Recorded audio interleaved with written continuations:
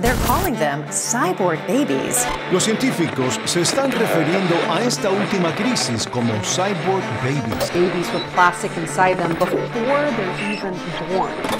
सिर्फ मानव कोशिकाएं नहीं साइबोर्ग बेबी जैविक और अकार्बनिक संस्थाओं का मिश्रण है It's a shocking reality dawning on all expected parents across the world. New research has demonstrated the presence of microplastic particles in the placentas of unborn babies. Particles small enough to pass into the bloodstream. When we throw out our plastics, where do they go?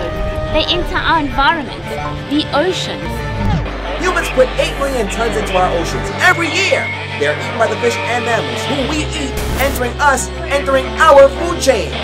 প্রবেশ করছে আমাদের দেহে Babies being born so-called pre-polluted, our generation will be the one to suffer most. We're the plastic generation. It's now even raining plastic, raining plastic. 无论您身在何处，microplastics 都是我们面临的危机。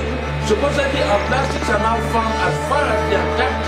the effects of microplastics on the developing babies can mean reduced fetal growth and even stop the fetuses developing a proper immune system. The questions we are asking you at home today. How do you think we make this environmental disaster stop? And the locals are asking what is being done to remove and recycle these non recyclable waste plastics? In other words, what's the plan?